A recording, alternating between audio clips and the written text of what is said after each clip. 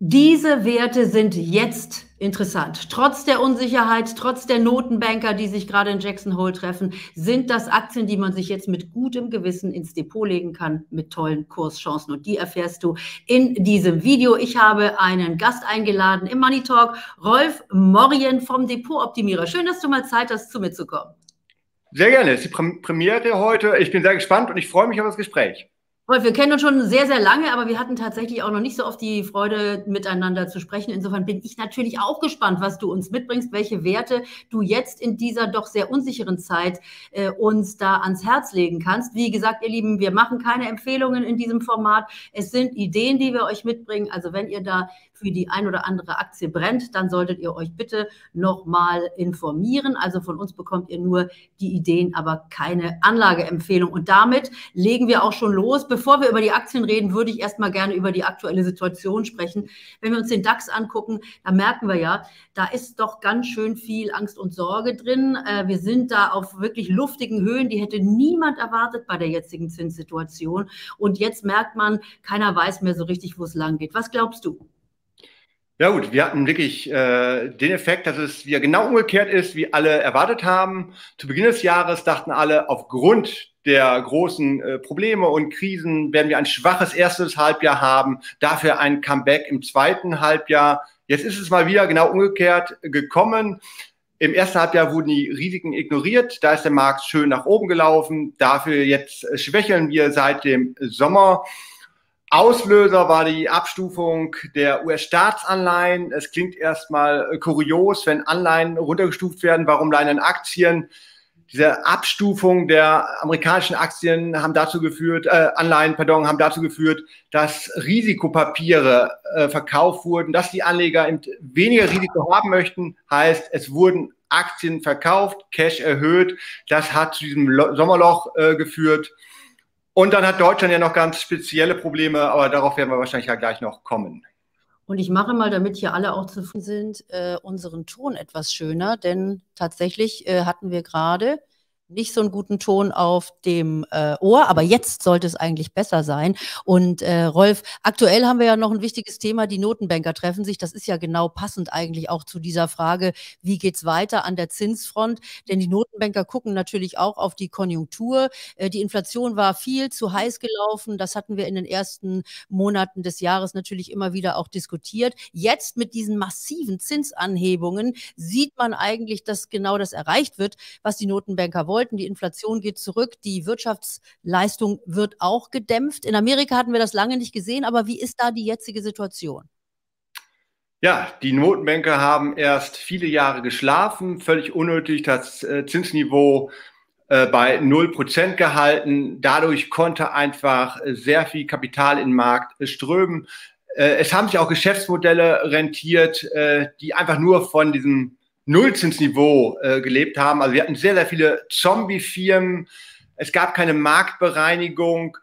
Und die Notenbanker haben gesagt, geschlafen. Dann kam der Ukraine-Krieg über Nacht. Äh, es gab dann äh, explosionsartig steigende Energiekosten, hohe Materialkosten. Im Anschluss sind die Löhne gestiegen. Inflationsrate ist nach oben geschossen. Und dann haben die Notenbanker in Europa, aber auch in den USA äh, sehr radikal äh, reagiert, die höchsten und schnellsten Zinssteigerungen, die wir in dieser Form je erlebt haben.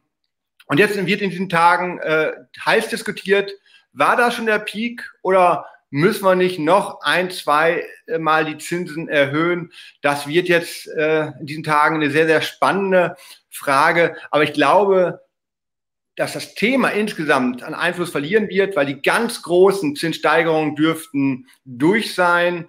Ich glaube, dass wir dann wieder mehr Ruhe von den äh, Notenbanken erleben werden. Also jetzt noch einmal ein heißer Sommer durch die Zinsdiskussion.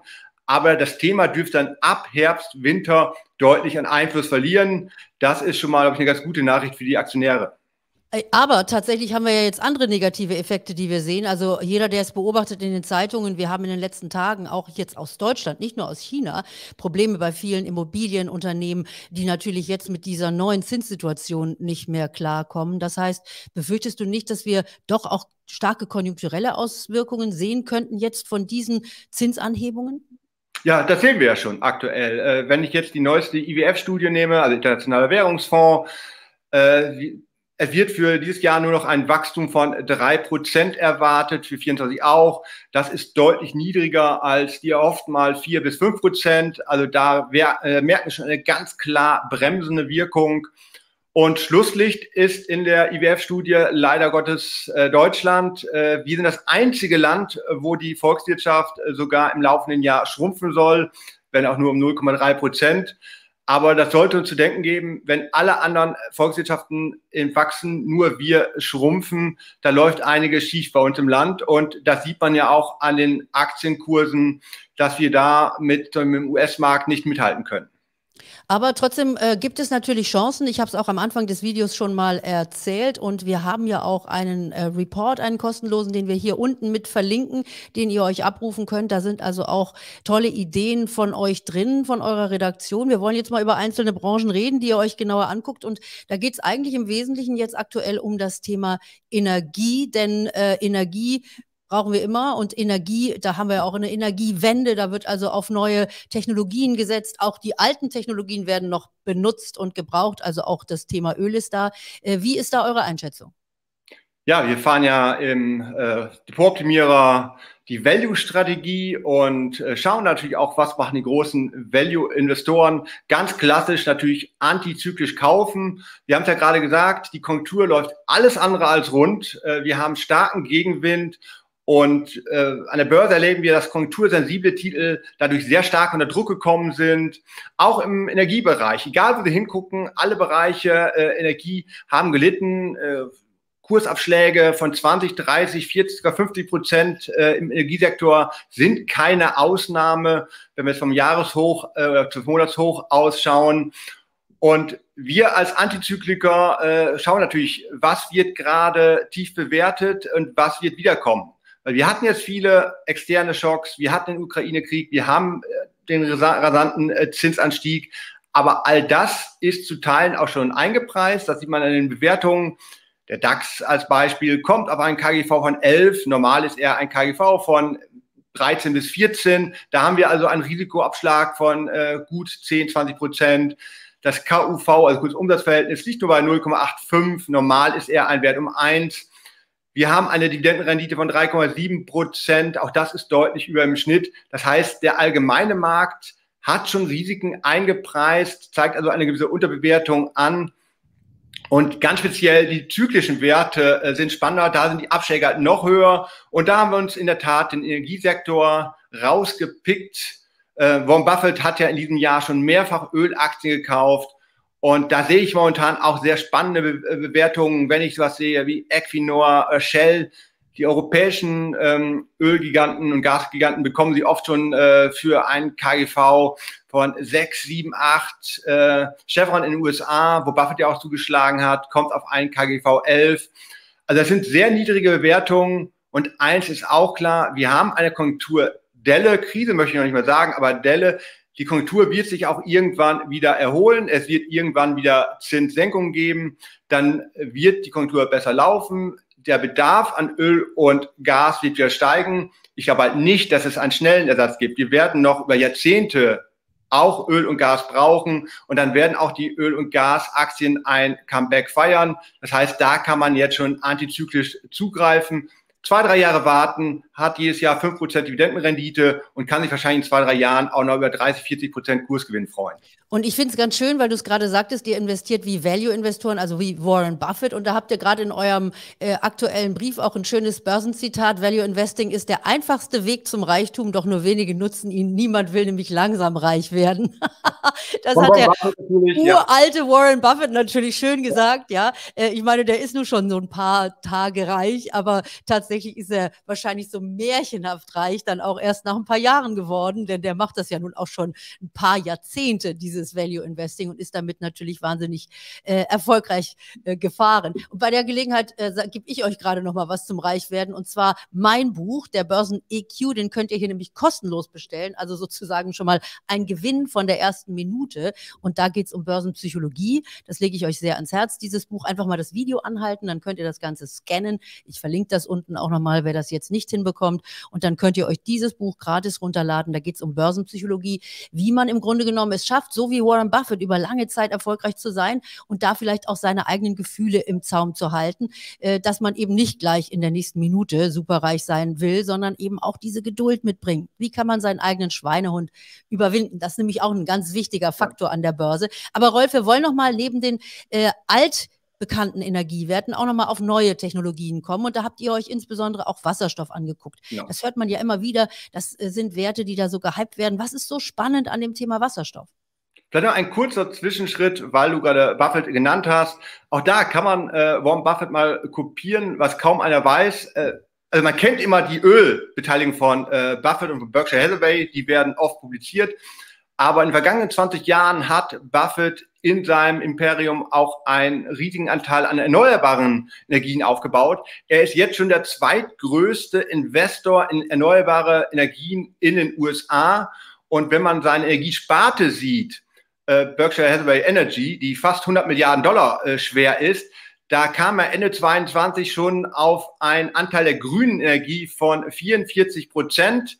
Also der alte Mann bleibt nicht bei Öl und Gas stehen, sondern mischt beides, Öl und Gas auf der einen Seite, aber auch grüne Energien, also äh, in Windkraft, äh, Solarenergie. Das ist auch meine Empfehlung. Nicht dogmatisch an einer Energiequelle festhalten, sondern mischen. Wir brauchen jede Form von Energie und wir brauchen jede Form der Energie noch über Jahrzehnte lang.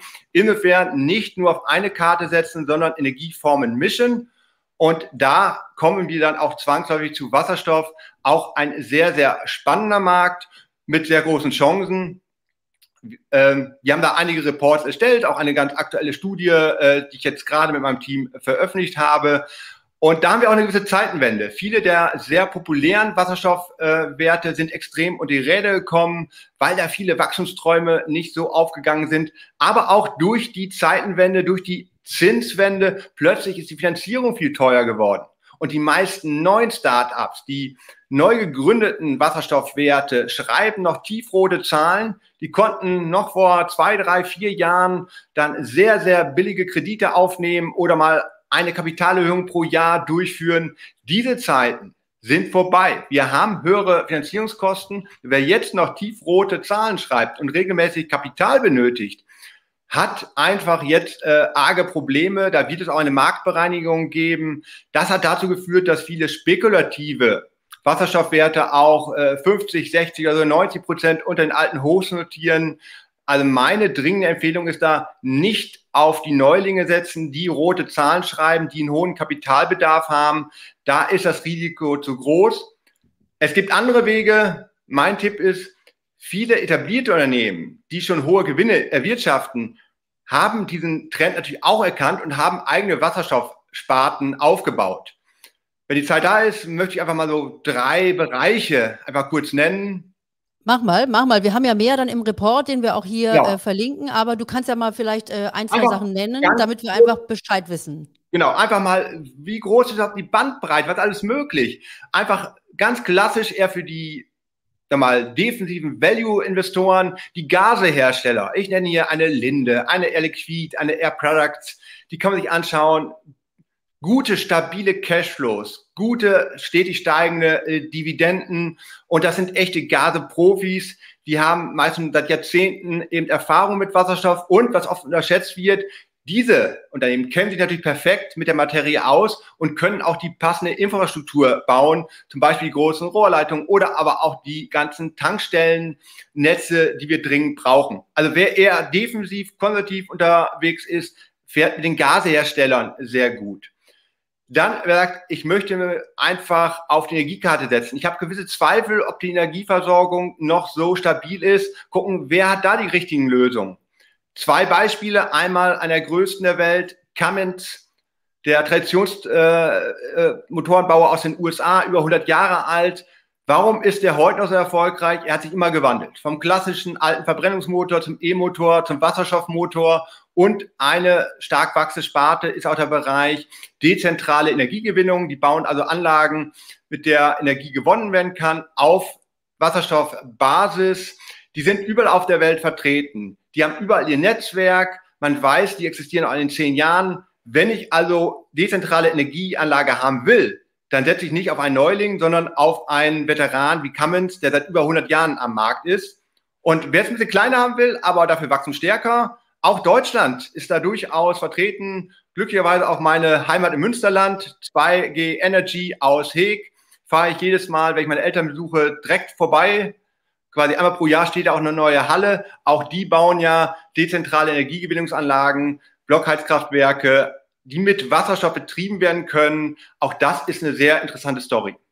Du, Rolf, auf äh, Veteranen setzen, das ist ein äh, guter, ist ein guter Begr äh, Hinweis. Du bist seit 2002 ja auch Chefredakteur vom Depot Optimierer, also auch schon fast ein Veteran, obwohl man sagen muss, ich ja. habe ja hier bei mir im Money Talk nun wirklich die Veteranen. Ja, ich hatte Friedhelm Busch und Heiko Thieme und alle kommen hier okay. Äh, auf den Kanal. Also insofern bist du noch ein junger Veteran. Aber danke, dass du da warst. Und wer das erste Mal im Money Talk ist, der lässt jetzt bitte auch ein Abo da. Ansonsten verlinken wir alles weitere zu dem Thema Wasserstoff auch hier unten in den Show Notes. Da gibt es dann noch viel mehr im Report, den ihr zusammengestellt habt. Und äh, ich danke dir für heute erstmal. Ich danke euch für eure Aufmerksamkeit. Wir hören uns dann ganz bald wieder. Bis dahin, bye bye. Aber wir schauen und vielen Dank, Carola. Bis zum nächsten Mal. Bis Tschüss. Bis zum nächsten Mal.